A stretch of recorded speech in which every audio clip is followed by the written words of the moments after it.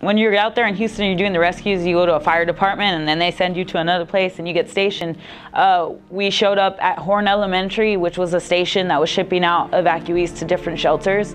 And from there, we went and launched our boat into uh, Cy-Fair. When you're looking at it on social media, it looks like it's easy to get around, and it really isn't. It took us five hours just to clear out that one subdivision, and uh, you're talking about maybe maybe six, seven, uh, six, seven blocks. We went in, and at 12 o'clock, the water was at our knees. By the time we left around 4 o'clock, it was already up here. It was high. The water was high. We helped uh, rescue her out of her home with a dog, and uh, she was breaking down, and she kissed her her dad goodbye, and he refused to leave the house and he had just had a stroke a couple months ago and he didn't have really the strength to be traveling everywhere.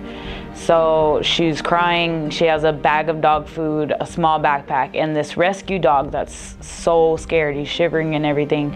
Not sure if he's scared enough to where he's going to bite you but he's he he's terrified. And driving her out on the boat and her crying and then telling you if you could possibly go back and try your best to convince him to leave, get him to leave. I think that's the one that we personally dealt with that stuck with us the most.